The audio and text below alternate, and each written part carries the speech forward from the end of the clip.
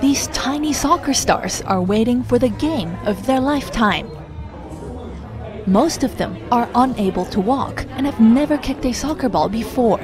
But that is about to change as they participate in the 2015 World Boot Competition in Praia Grande, Brazil.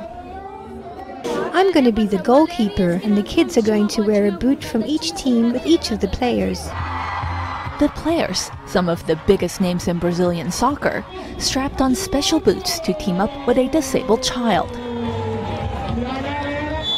Together, they compete in a World Cup of sorts, with each pair representing a different country in a shootout competition.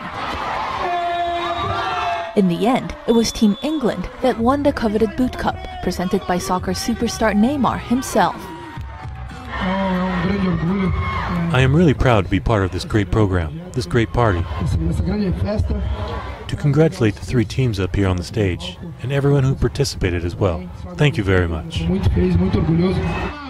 The event is organized by the Barcelona Wingers Neymar Jr. Institute project and aims to help low income students succeed in the classroom and on the field.